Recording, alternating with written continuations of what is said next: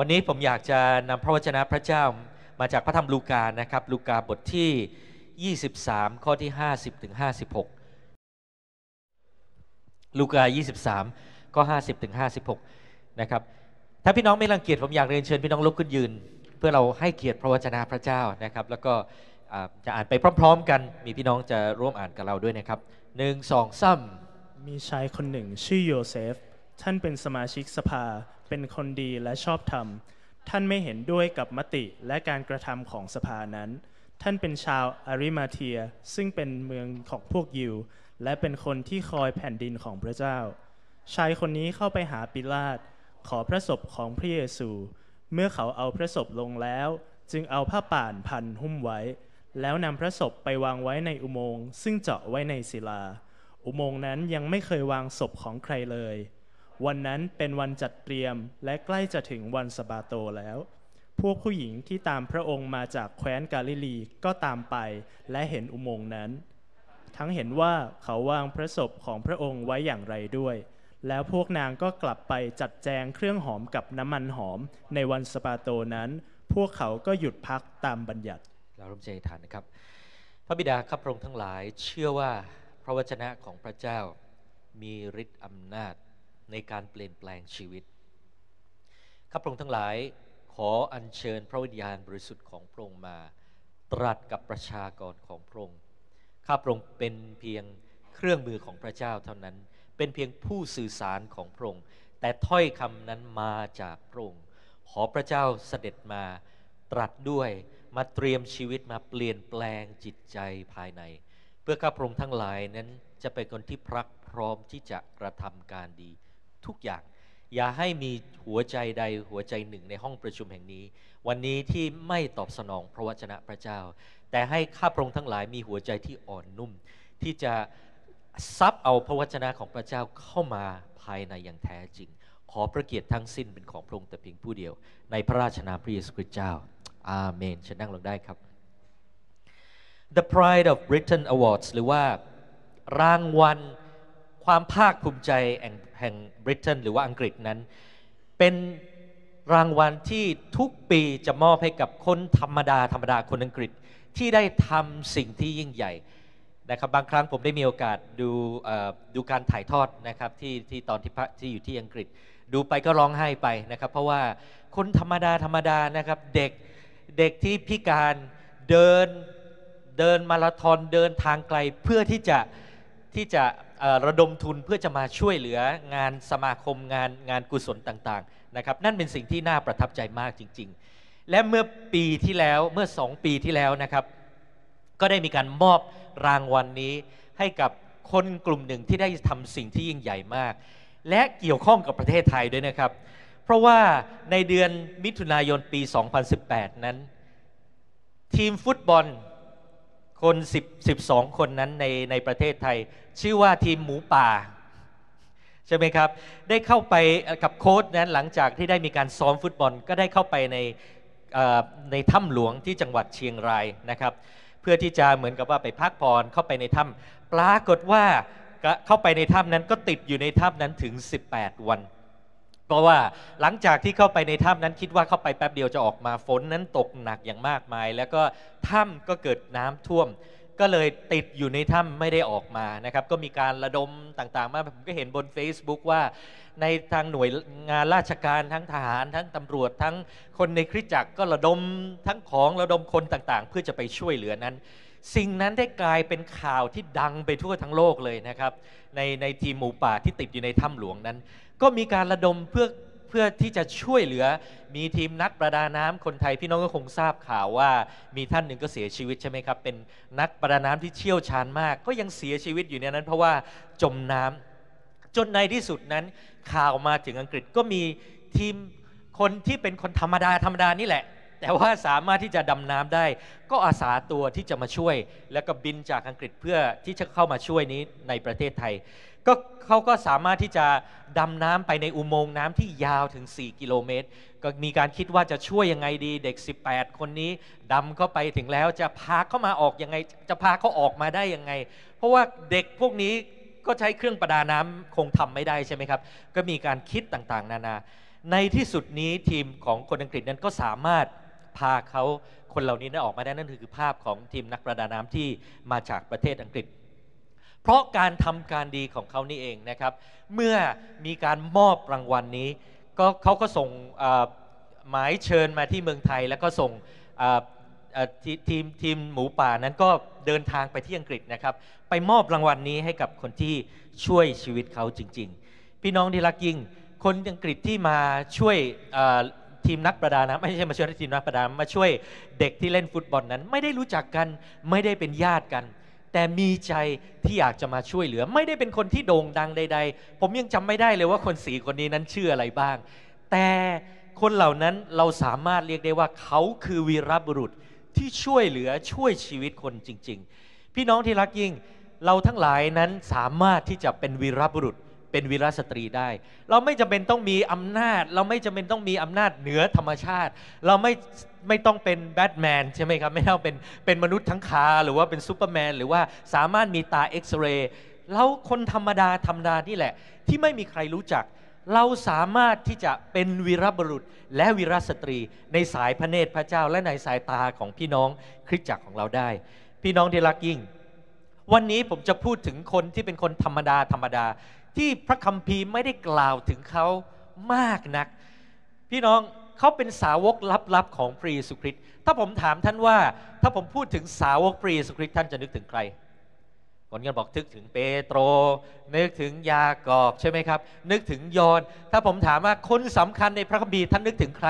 ท่านก็คงบอกว่าโอ้นึกถึงเปาโลนึกถึงดาวิดนึกถึงโมเสส ไม่มีใครหรอกครับจะนึกถึงคนที่ผมกำลังจะพูดถึงนี้ แต่เขาได้ทำการที่ยิ่งใหญ่มากจริง ๆ เขาได้มีส่วนร่วมในชีวิตของพระเยซูได้ได้ได้เป็นคนที่ไปไปรับพระศพของพระเยซูหลังจากที่พระเยซูถูกตรึง ได้นำพระศพของพระเยซูไปฝัง และหลังจากนั้นเองเป็นเหตุให้พระศพของพระเยซูนั้น ฟื้นคืนพระชน ถ้าไม่มีการ ฝังผมก็ไม่แน่ใจว่าแล้วจะมีการฟื้นคืนพระชนหรือเปล่า ถ้าไม่มีการฟื้นคืนพระชนและเราจะมีความรอดหรือ จะมีเราทั้งหลายที่มานั่งที่นี่หรือ พี่น้องคนจำนวนมากเมื่อพูดถึงสาวกนึกถึงคนที่ออกไปประกาศข่าวประเสริฐ นึกถึงคนที่ออกไปเยียวยารักษาโรคคนซึ่งสำคัญมากแต่ไม่มีใครหรอกครับจะนึกถึงชายคนนี้ ที่เป็นคนที่ไปรับพระศพของพระเยซูแล้วก็ฝังพระศพของพระเยซู ผมพูดถึงโยเซฟ ชาวอาริมาเทีย เคยได้ยินไหมครับ เคยได้ยินบ้างใช่ไหม แต่ว่าถามว่าเขาเป็นใครเขาทำอะไร อาจจะนึกไม่ออกเออไม่รู้เหมือนกันเคยได้ยินแว่วๆมาโยเซฟชาวมาริอาริมาเทีย แต่เขาคือคนที่สำคัญมาก พี่น้องที่รักยิ่งเขาคือวีรบุรุษ วีรบุรุษที่โลกลืมนั่นคือ ชื่อของคำเทศนาของผมในวันนี้ฟังเหมือนหนังจีนเลยนะฮะวีรบุรุษที่โลกลืม เขาทำสิ่งที่ยิ่งใหญ่มาก วันนี้ท่านสามารถเป็นวีรบุรุษ เป็นวีรสตรีที่คนอาจจะไม่พูดถึง แต่ว่าวันหนึ่งเมื่อท่านไปถึงแผ่นดินสวรรค์พระเจ้า พระเจ้าจะบอกว่าเราชอบใจเจ้ามาก เจ้าเป็นผู้รับใช้ที่มีความสัตย์ซื่อ เราจะมอบรางวัลให้กับเจ้า พี่น้องอยากได้รับรางวัลไหมครับ ที่มาจากพระเจ้า เอเมนนั้นตามผมมาดีๆสามสิ่งที่เราเรียนรู้จากโยเซฟชาวอาริมาเทีย และผู้หญิงอีกกลุ่มหนึ่งพระคัมภีร์พูดถึงผู้หญิงอีกกลุ่มหนึ่งด้วยซ้ำไปที่ชื่อยังไม่ได้บอกเลยคนพวกนี้ชื่ออะไร แต่ว่าเขาทำการที่ยิ่งใหญ่อยู่ในทำสิ่งที่ยิ่งใหญ่ในในชีวิตของพระเยซูเป็นอย่างมาก ประการแรก ถ้าท่านอยากจะเป็นวีรบุรุษวีรสตรีของพระเจ้า แม้โลกอาจจะไม่รู้จักท่าน ท่านต้องเป็นคนที่ยืนหยัดบนสัจธรรม ประการแรกเขายืนหยัด บนสัจธรรมข้อ 50 51 มีชายคนหนึ่งชื่อโยเซฟ ท่านเป็นสมาชิกสภา เมื่อเราพูดถึงสมาชิกสภานี้สภาอะไรครับ เป็นสภานี้เป็นเหมือนกับศาลนะครับ สภานี้ชื่อว่าสภาแซนฮิดริน มีการกล่าวถึงในไม่มีตอนอื่น ๆ เช่นกัน สภานี้เป็นเหมือนกับคณะศาลคณะผู้พิพากษา ถ้ามีการกล่าวหากันเกิดขึ้น แล้วต้องมีการตัดสินเขาจะส่งเรื่องส่งคดีมายังสภาแซนเฮดริน และสภานี้ก็จะตัดสิน ด้วยเหตุนั้นเองเมื่อมีการกล่าวหาพระเยซูแซนเฮดรินนั้นก็ตัดสินให้พระเยซูนั้นต้องถูกตรึงกางเขนนะต้องถูกฆ่านั่นคือโยเซฟนั้นก็เป็นหนึ่งในสมาชิกสภา แต่เขาเป็นคนดีและชอบธรรม ในขณะที่คนในสภานี่จำนวนมาก เป็นคนที่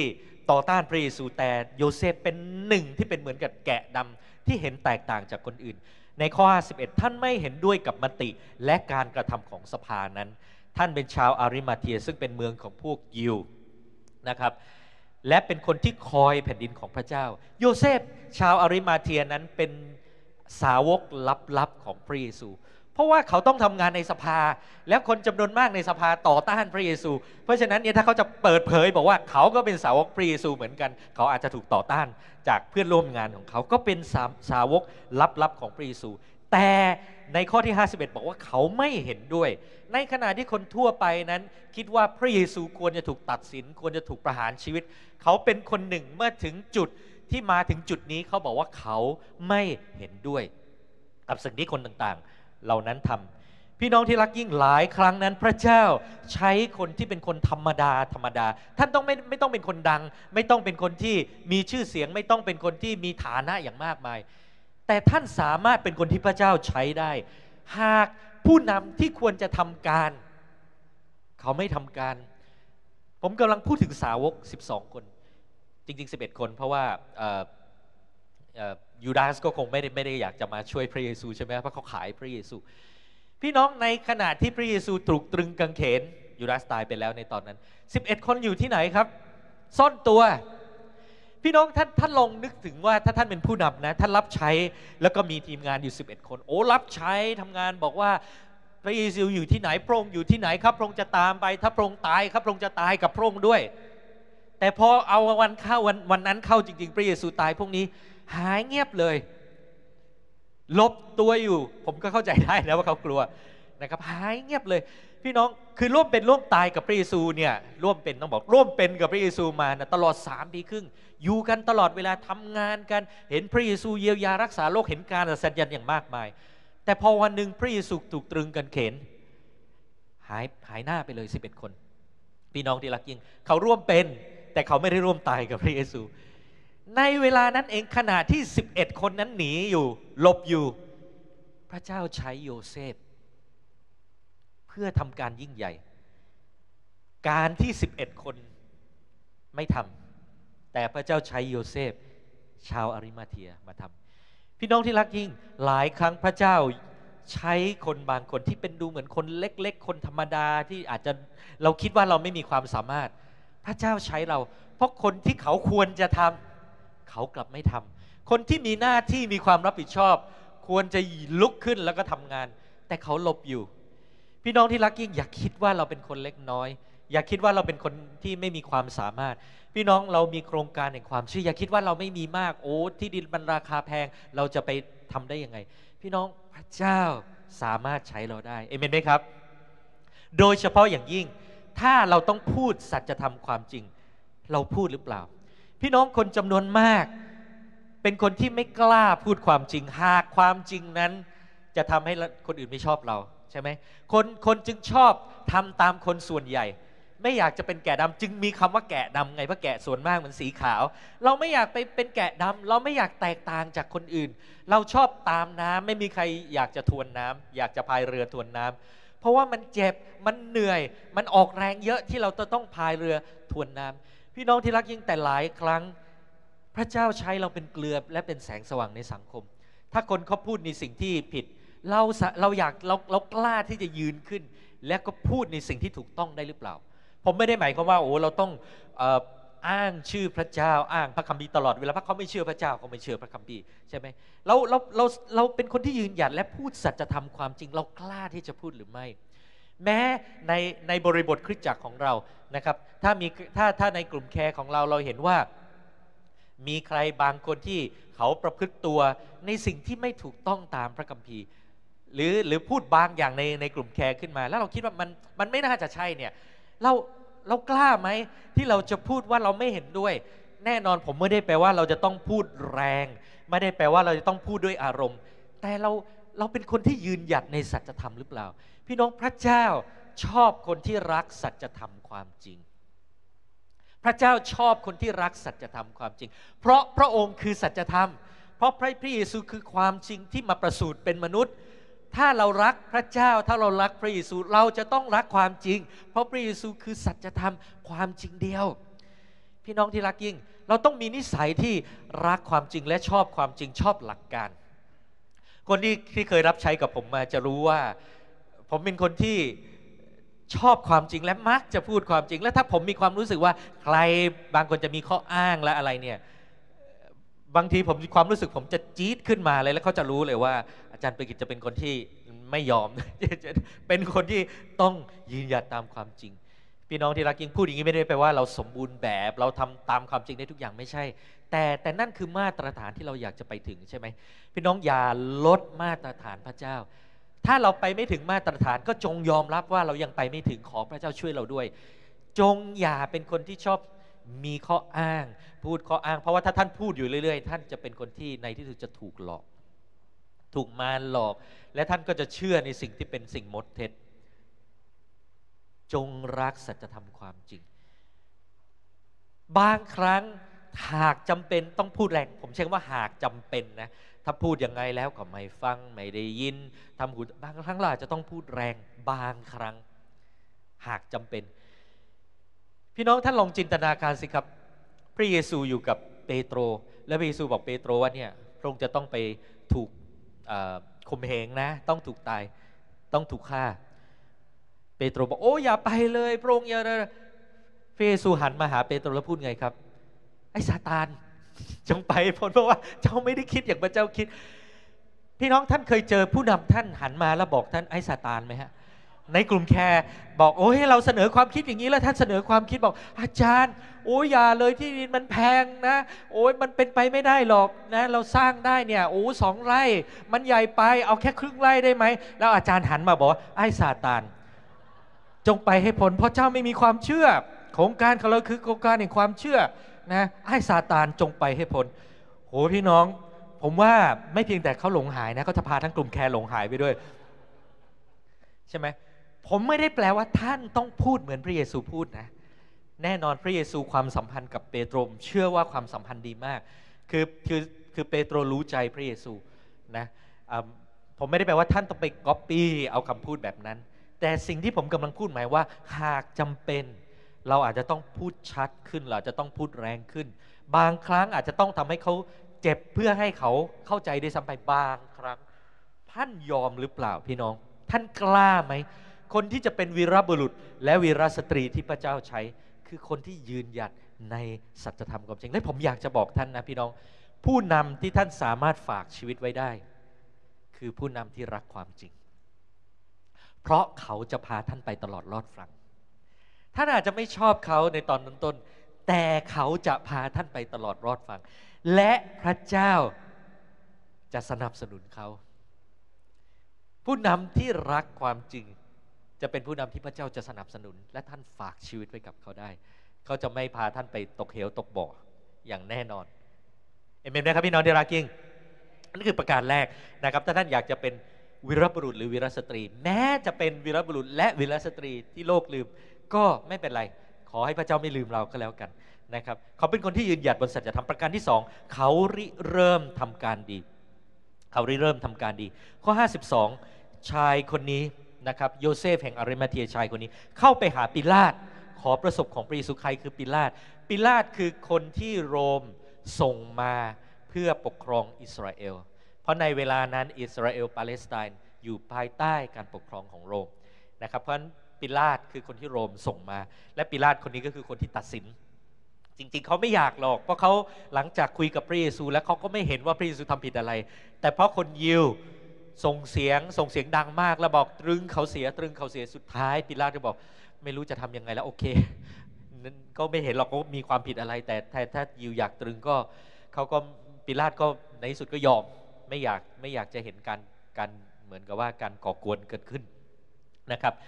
ยเซฟอย่างที่บอกแล้วเป็นสาวกลับๆของพระเยซู ก็เข้าไปหาปิลาตนะไปขอพระศพของพระเยซูมา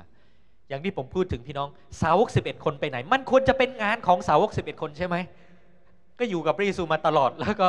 ตัวตอนถูกตรึงกันเขนก็ยังอยู่ตรงนั้นมองเห็นพระเยซูตรึงเขนแต่พอพระเยซูสิ้นพระชนแล้วก็ไปหลบแล้วคือกลัวมากเลยนะมันควรจะเป็นงานของสาวก 11 คน แต่ว่าเขากลัวแล้วเขาหนี โยเซฟก็เข้ามาหาปิลาตแล้วก็มาขอประสบสุดท้ายได้ไหม ขอบคุณพระเจ้า ปิลาตยอมให้ประสบของพระเยซูจริง ๆนะครับ โยเซฟนั้นก็คือเป็นวีรบุรุษ เป็นวีรบุรุษแบบลับๆ พี่น้องใครใครก็เป็นวีรบุรุษของพระเจ้าได้ ใครใครก็เป็นวีรบุรุษของพระเจ้าได้ ท่านไม่จำเป็นต้องเทศนาเก่ง ท่านไม่จำเป็นต้องบริหารเก่ง ท่านไม่จำเป็นต้องนำนมัสการเก่ง ท่านไม่จำเป็นต้องมีเงินมาก ท่าไม่จำเป็นต้องจบโรงเรียนพระคริสต์ธรรมา และไม่จำเป็นต้อง โอ้เป็นคนที่สามารถนำคนพูดเก่งนำเกมนำอะไร สิ่งที่ผมพูดมาทั้งหมดเป็นสิ่งที่ดีนะ ถ้าทำได้ดีมากๆเลยนะแต่ถ้าทำไม่ได้ก็อะไรล่ะที่ทำได้ก็ทำในสิ่งที่ท่านทำได้ อะไรที่เป็นจุดแข็งของเรา อะไรที่เป็นอของประธานของเรา ก็ใช้สิ่งนั้น พี่น้องได้รักยิ่งพระพระเจ้าสามารถใช้เราได้ ในสิ่งที่เราเป็นในสิ่งที่พระเจ้าใส่ไว้ในชีวิตของเรา พี่น้องที่รักยิ่งและที่สำคัญ คนที่จะเป็นคนที่เป็นวีรบุรุษของพระเจ้า คือคนที่ลุกขึ้นยืน และบอกว่าข้าพเจ้าอยากจะทำตรงนี้ข้าพเจ้าอยากจะมีส่วนร่วมทำในสิ่งนี้ ไม่ต้องรอให้คนอื่นมาบอกเรา พี่น้องผมเชื่อว่าโครงการในความเชื่อเนี่ยมีอะไรหลายอย่างมากมายที่เราจะต้องทำเต็มไปหมดเลย นะผมรู้จักอาจารย์นนท์ท่านเป็นคนที่มีความขยันมาก และเป็นคนที่ถ่อมใจมากทำอะไรได้ท่านอยากจะทำยินดีทำทุกอย่าง แต่มีอะไรที่เราสามารถเข้าไปช่วยเหลือท่าน มีอะไรที่เราจะสามารถก็ไปแบ่งเบาภาระเพื่อท่านจะสามารถไปทำอย่างอื่นได้ด้วย ในสิ่งที่คนอื่นทำไม่ได้ ท่านเสนอตัวสิครับ บอกว่าอาจารย์มีอะไรให้ผมทำได้ ผมคิดว่าบางทีผมอาจจะทำตรงนี้ได้นะ ให้ผมเข้ามาช่วยไหมพี่น้องผมเชื่อว่าเราทุกคนที่เนี่ย มีใจที่ยินดีถ้ามีคนมาบอกเรา แต่วันนี้ผมอยากจะท้าทายท่านให้ขึ้นไปถึงอีกระดับหนึ่ง แม้ไม่มีคนมาบอกเรา เราสามารถเสนอตัวได้ไหม เราสามารถริเริ่มได้ไหมไม่ต้องรอให้ผู้นำมาบอกเรานะถ้าเราอยู่โบสถ์มานานเราคงรู้อยู่ว่าโบสถ์ต้องการอะไรนะครับ เสนอความคิดได้หรือเปล่า พี่น้องคนที่จะเป็นวีรบุรุษคือเป็นคนที่มีสามารถที่จะเรียกว่าอะไรอะ่ะ คิดได้ริเริ่มได้ ไม่ต้องรอคนอื่นมาท้าทายเรา แต่เราท้าทายตัวเอง เสนอตัวที่จะเข้ามามีส่วนร่วม เราจะสามารถทำอะไรได้มากอีกเยอะมากจริงๆนะพี่น้องผมผมผมเห็นคริสจากสารสารสัมพันธ์แล้วผมชื่นชมยินดีมากนะทั้งงานด้านสื่อทั้งงานโอ้ยหลายอย่างช่วยเหลือ องค์กรคริสเตียนในประเทศไทยต่างๆ แม้ ผมไม่อยู่เมืองไทยผมก็ก็ทราบบ้างว่าท่านทำอะไรทำหลายอย่าง แต่คำถามผมก็คือว่า คนกี่เปอร์เซ็นต์ในโบสถ์เราที่แบกภาระนี้ ใช่คนร้อยเปอร์เซ็นต์หรือเปล่า หรือคนแปดสิบเปอร์เซ็นต์หรือคนยี่สิบเปอร์เซ็นต์หรือคนสิบเปอร์เซ็นต์มีสื่อที่ออกมาเต็มไปหมดเลย แต่คนกี่คนที่มีส่วนร่วมในงานสื่อนี้ อย่าเข้าใจผมผิดผมไม่ได้แปลว่าร้อยเปอร์เซ็นต์ต้องมาทำงานสื่อ เพราะว่าไม่ใช่ทุกคนจะเก่งงานด้านนี้ แต่มีงานด้านอื่นหรือเปล่า ที่เราสามารถเสนอตัวเข้ามามีส่วนร่วมได้ พี่น้องไม่ต้องรอคนมาบอกเรา นะถ้าเรารู้ว่าอะไรคือสิ่งที่โบสถ์โบสถ์สามารถโบสถ์ต้องการหรือว่าเราจะทำให้โบสถ์นั้นดีขึ้นเสนอตัวเลย เสนอตัวกับอาจารย์ หรือไม่ต้องทุกคนวิ่งเข้ามาหาอาจารย์ ไม่งั้นอาจารย์มีแต่เวลาคุยกับคน แม้ท่านยินดี ไปคุยกับผู้นำแคร์เราได้ไหมนะหัวหน้าระดับต่างๆ ไปบอกว่าอยากจะเข้ามามีส่วนร่วมวันนี้ผมดีใจมากเลยนะที่เห็นเด็กๆนะเดินถุงถวายแถวหนึ่งเดินทั้งสามคนเนี่ย นะผมไม่เคยเห็นที่ไหนนะเก็บตังค์สามรอบในแถวเดียวกัน ดีมากเลยนะแต่ผมเห็นแล้วน่ารักมากเลยนะ คือคือไม่เป็นไรนะมันเก็บสองรอบสามรอบนะ คือเด็กเขาทำนานๆครั้งเนี่ยเขาคงคงไม่ได้รู้หรอกว่าทำยังไงไม่เป็นไรนะเรื่องสำคัญที่สุดคือการมีส่วนร่วม แล้วเดี๋ยวเดี๋ยวก็ค่อยๆเรียนรู้ไปนะเราจะสามารถทำอะไรได้มากอีกเยอะเอเมนไหมครับพี่น้องเอเมนนะ งานด้านพันธกิจ ผมทราบว่าท่านเปิดบทในหลาย ๆ ที่มากนะแต่ถามว่าคนที่ออกไปพันธกิจเนี่ยคือคนหน้าเดิม ๆ หรือว่าคนใหม่ ๆ ที่เขามีส่วนร่วมนะหน้าเดิม ๆ ไปไม่เป็นปัญหานะแต่ถามว่าคนใหม่ ๆ เราอยากมีส่วนร่วมหรือเปล่า ในกลุ่มแคร์ของเรากลุ่มสามัคคีธรรมของเราเนี่ยเป็นไงเราเราเราเรามีคนกลุ่มใหม่ที่คนใหม่ ๆ ที่เสนอตัว นำนมัสการไหมหรือว่ากับคนหน้าเดิมๆตลอดเวลา คริสจักรที่เจริญเติบโตจริง ๆ คือคริสจักรที่คนไม่ทำสิ่งเดิมอยู่ตลอดเวลา เราสร้างคนรุ่นใหม่นะผมมาแต่ละครั้งก็เห็นคนใหม่ๆนำนมัสการนะยังไม่เคยเห็นมาก่อนเลยเนี่ยอันนี้อันนี้คือหมายสำคัญที่ดีมากว่าคริสตจักรเจริญเติบโต แต่ถ้ามา 5 ปี 10 ปี คนนำนำนำราชการคนเดิมทุกคนเลย คนคนคนเล่นดนตรีคนเดิมทุกคนเลย ผมไม่ตั้งคำถามแล้วเอ๊ะแล้วเราสร้างคนใหม่หรือเปล่าผมไม่ได้หมายความว่าคนเดิมนำไม่ได้นะ คนเดิมยังนำได้อยู่แต่ถามว่าเรามีคนใหม่ ๆ ด้วยหรือเปล่านะคนคนคนนำแคร์คนสอนในแคร์นะครับคนยืนต้อนรับคนต่างๆ เรามีคนใหม่ไหมเราสร้างคนใหม่ตลอดเวลาหรือเปล่านะครับในคริสตจักรของผมเนี่ยผมท้าทายเด็กทีนของผมนะครับ ท้าทายว่า ผมท้าทายเป็นคนๆเลยนะ คุยเขาส่วนตัวเลย ผมถามเขาว่า อยากเทศนาไหม อายุเท่าไหร่ครับ อายุ 13 เอง อีกคนหนึ่งอายุ 15 ผมท้าทายแล้วว่า อยากเทศนาไหม แล้วผมบอกว่าผมสัญญาว่าผมจะนั่งลงนะเตรียมคำเทศกับน้องจะนั่งเตรียมด้วยกันแล้วนะ แต่วันนั้นน้องขึ้นเวทีนะแล้วเทศสั้น ๆ ก่อน เอาคำเทศนาหนึ่งเนี่ยสานาทีสามคนเทศสามข้อคนละข้อ เทศคนละสิบนาทีนะเอาไหมพอพูดอย่างนี้ปุ๊บเขาบอกเขาเอาบอกว่าถ้าจะให้เทศ 30 นาทีก็กลัวมันไม่ไหวนะบอกว่าผมจะนั่งช่วยเตรียมด้วยกันนะแล้วน้องแต่ละคนเทศคนละสิบนาที ในรอบหลักนะ พี่น้องผมไม่ได้พูดถึงรอบทีนะ รอบหลักแล้วคนที่นั่งฟังเนี่ยคือคนอายุเท่าผมเนี่ยนะอายุ 50 บ้าง 60 บ้างนั่งฟังนะ แล้วผมบอกว่าทั้งรอบเด็กทีนทำหมดเลยนำนมัสการเองเก็บตังเองนำนาหาสนิทเองนำถวายทรัพย์เองแล้วเทศนาเองด้วย เอาไหมเขาบอกเอาบอกเอาเดี๋ยวเรามานั่งด้วยกันเดี๋ยวเรามานั่งเตรียมด้วยกัน ตอนนี้สิ่งที่เราได้ทำไปแล้วคือเด็กทีนนำถวายทรัพย์แล้วนะครับนำนมัสการแล้ว แล้วก็เป็นเรียกว่าอะไรผู้ประกาศข่าวอะไรเด็ดแล้วขาดอย่างเดียวคือยังไม่ได้เทศ เดี๋ยวจะได้เห็นอีกไม่นานนี้ว่าเด็กทีนในโบสถ์ผมนี้จะได้ลุกขึ้นมาเทศ เป็นอะไรที่ผมเห็นแล้วผมชื่นใจมาก แล้วก็ไม่เป็นไรหรอกนำนมัสการนำ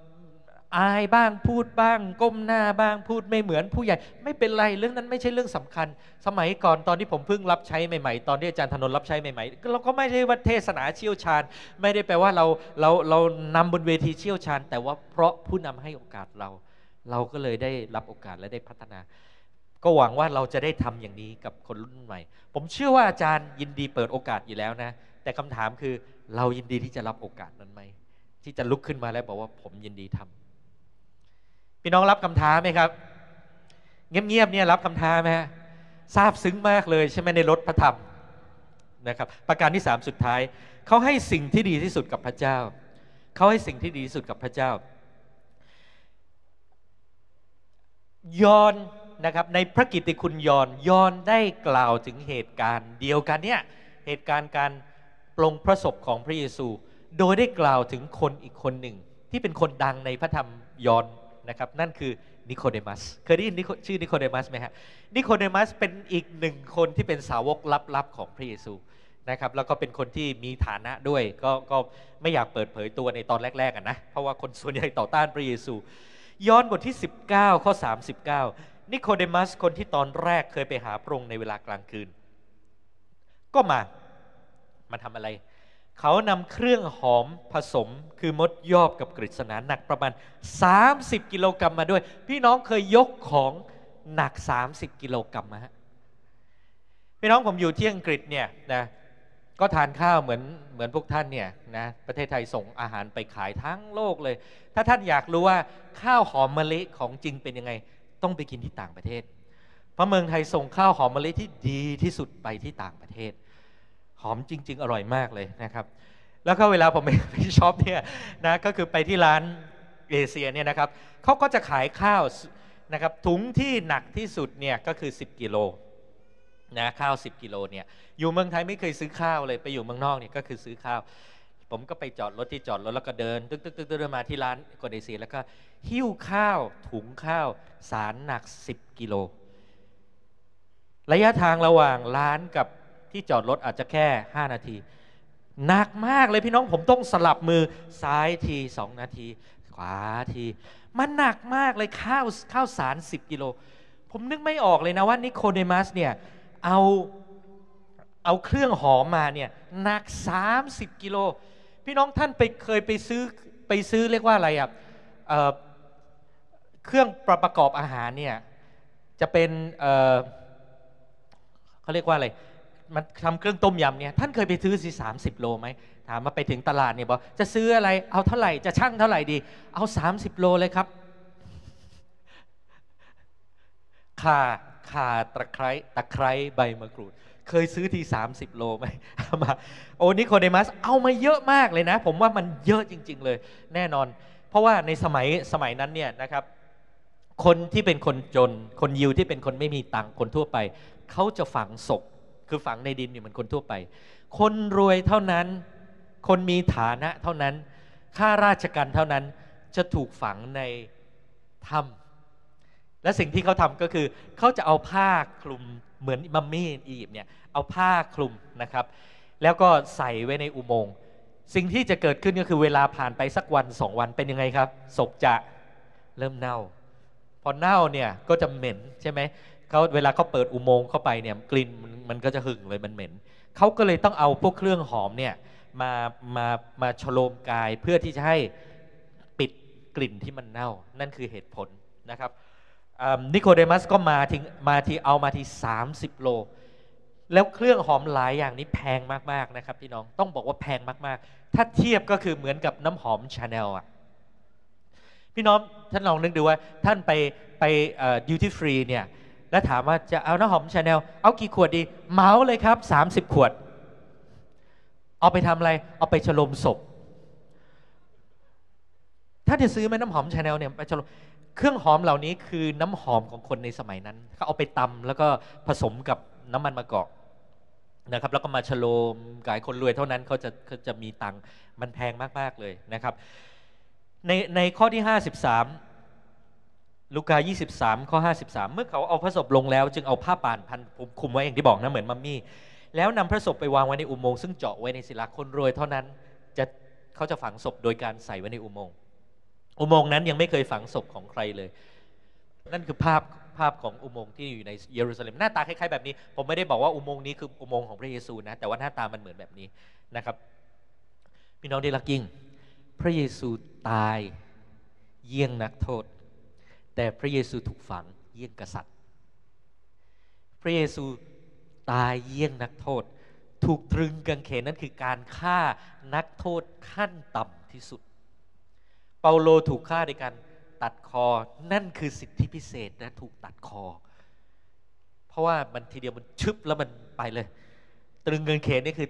ตายแบบผ่อนส่ง ตายทีละเล็กทีละน้อย ใช้เวลาสามชั่วโมงหกชั่วโมงกว่าจะตาย นั่นนั่นคือการฆ่านักโทษขั้นต่ำที่สุด พระเยซูตายในฐานะนักโทษที่ต่ำที่สุด แต่ถูกฝังในฐานะของกษัตริย์ เพราะว่านิโคเดมัส โยเซฟ แล้วก็ผู้หญิงที่ไม่ปรากฏนาม รักพระเยซูเป็นอย่างมาก ให้สิ่งที่ดีสุด พี่น้องท่านรักพระเยซูมากขนาดไหน เป็นเรื่องง่ายที่นักทีมนมัสการมานะครับนำนมัสการโอ้ข้ารักพระเยซูแล้วพี่น้องก็ร้องไห้ร้องไห้ มันง่าย แต่ถามว่าในชีวิตจริงเนี่ยเรารักพระเยซูด้วยการกระทำด้วยหรือเปล่า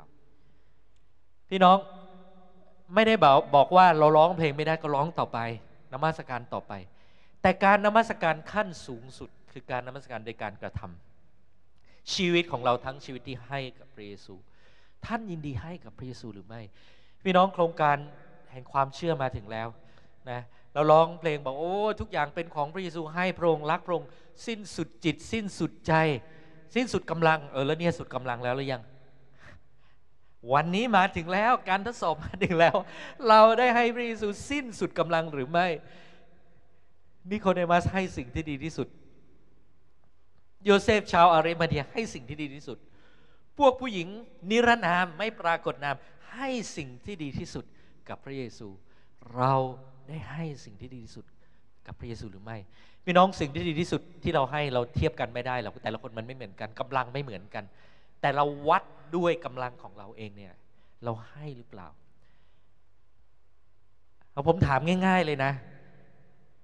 ทุกวันเนี่ย 24 ชั่วโมงเนี่ย ท่านได้สละเวลาของท่านให้กับพระเยซู จาก 24 ชั่วโมง ให้มากขนาดไหน ชั่วโมงหนึ่งหรือเปล่าอ่านพระคัมภีร์อธิษฐาน หรือ 30 นาที เอาเยอะเกินไปเอาต่อก็ได้เอา 15 นาที ถ้า 15 นาทีเยอะไป 5 นาทีมีให้พระเยซูไหมในนับ 24 ชั่วโมงต่อวันเนี่ย 5 นาทีมีให้พระเยซูไหมมีไปทานก่อนอาหารสามรอบสามนาที ตื่นเช้าหนึ่งนาที ก่อนนอนหนึ่งนาทีห้านาที ท่านมีมีเวลาให้พระเยซูหรือเปล่า นั่นคือสิ่งที่ดีที่สุด ใช่ไหมท่านให้สิ่งที่ดีสุดกับพระองค์หรือเปล่า ถ้าเรามาจะถวายให้พระเจ้า เราถวายแบบเศษเศษหรือเราถวายเหมือนผู้หญิงคนนั้นนะหญิงไม้สองเหรียญทองแดงทำอะไรไม่ได้เลยสองเหรียญทองแดง ซื้อข้าวจานยังซื้อไม่ได้เลย แต่สำหรับเธอนั้นนั่นคือสิ่งที่มีทั้งหมดในชีวิตให้พระเยซู ถ้าพระเยซูยังให้ชีวิตของเราได้ เราให้ชีวิตเรากับพระองค์ได้หรือไม่ถ้าไม่ได้ยังตอนนี้ก็จงจงยอมรับว่ายังให้ไม่ได้ แต่จงบอกพระเยซูว่าไม่แน่ใจนะว่าจะให้ได้หรือเปล่า แต่ขอพระเยซูช่วยด้วยอยากจะไปถึงจุดนั้นจริง ๆ ที่ให้พระองค์ได้ อยากขอพระเจ้ามาเปลี่ยนแปลงหัวใจจริง ๆ เพื่อที่วันหนึ่งจะมาถึงจุดที่อินดีถวายทุกอย่างให้กับพระเยซูได้ พี่น้องนั่นคือ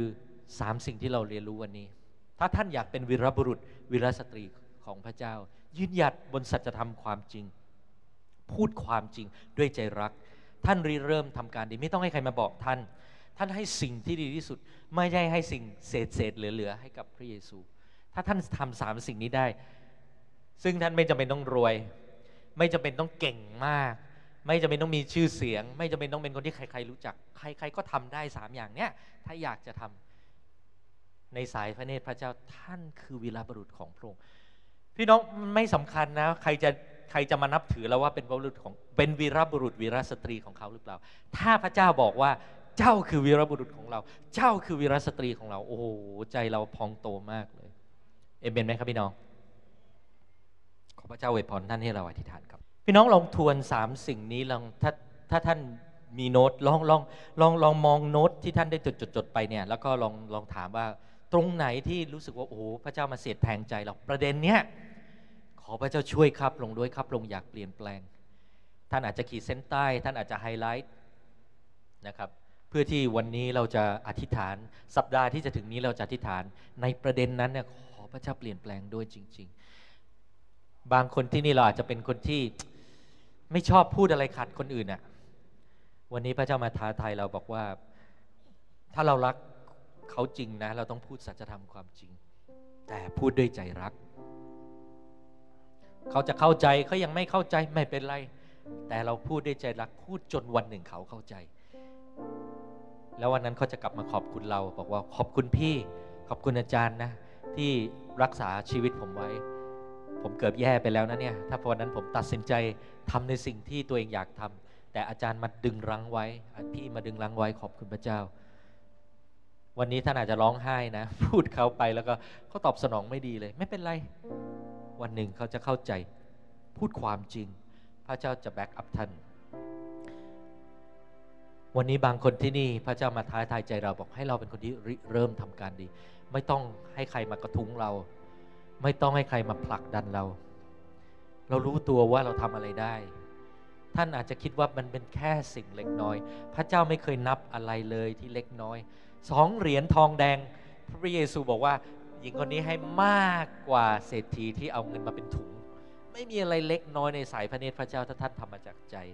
นะครับริเริ่มทำการดี ท่านอยากจะบอกว่าโอ้รู้แล้วเดี๋ยวจะไปคุยกับผู้นำเรา เดี๋ยวจะไปคุยกับอาจารย์ต่างๆ ถ้าท่านจะเป็นวีรบุรุษวีรสตรีของพระเจ้าให้สิ่งที่ดีที่สุดกับพระองค์พระเจ้ามาแตะใจเราหรือเปล่า วันนี้ว่าสิ่งที่เรายึดฉวยไว้อยู่ วันนี้ให้เราปล่อยปล่อยจากมือของเรา ปล่อยให้กับอาณาจักรของพระเจ้า วันหนึ่งท่านจะได้รับมงกุฎงามในแผ่นดินสวรรค์พี่น้องถ้าวันนี้พระเจ้ามาท้าทายใจท่าน จงบอกพระองค์ว่าพระองค์เจ้าข้าวันนี้ชีวิตข้าพระองค์เป็นของพระองค์ถ้าท่านยังไม่แน่ใจจงบอกพระองค์ว่าพระองค์เจ้าข้า ขอพระเจ้าช่วยด้วย ขอพระเจ้าช่วยด้วยให้ข้าพระองค์ทำได้ข้าพระองค์จะตัดสินใจ และจงตัดสินใจด้วยความเชื่อตอนนี้เลย บอกพระองค์ว่าข้าพระองค์ขอตัดสินใจด้วยความเชื่อนะข้าพระองค์อาจจะล้มเหลวไม่เป็นไร ถ้าล้มเหลวก็ลุกขึ้นมาใหม่ พระเจ้าจะให้เกียรติท่าน พระเจ้าจะให้เกียรติท่าน กี่คนที่นี่ครับที่วันนี้พระเจ้ามาพูดด้วย ผมจะไม่ถามท่านว่าพระเจ้าพูดด้วยเรื่องอะไร แต่ผมแค่ถามอย่างเดียวว่า วันนี้พระเจ้ามาแตะใจท่าน พระเจ้ามาพูดกับท่าน และท่านบอกว่าขอบคุณพระเจ้า วันนี้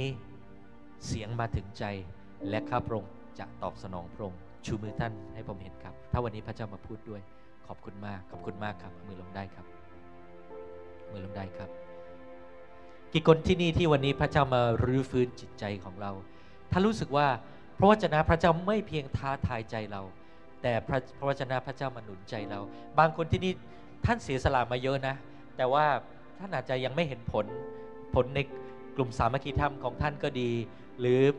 จะเป็นในครอบครัวของท่าน วันนี้พระวจนะพระเจ้ามาหนุนน้ำใจเราว่า ไม่เป็นไรคนอาจจะไม่เห็นคนอาจจะไม่รู้เราอาจจะยังไม่เห็นผล แต่พระเจ้ารู้ทุกสิ่ง และพระเจ้าพอพระทัยท่าน ถ้ารู้สึกรับกำลังใจในวันนี้ชูมือขึ้นให้ผมเห็นครับ ขอบคุณมากครับ ขอบคุณมากเอามือลงได้ครับ